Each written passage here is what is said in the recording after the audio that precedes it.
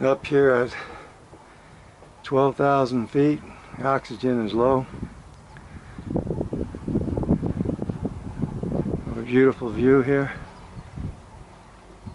Taking those gondolas up the uh, is the highway.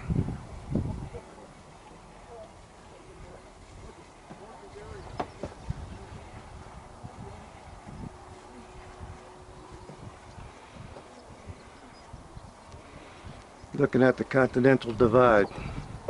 Right here, one side is the Atlantic, the other side is the Pacific flow, where the water flows.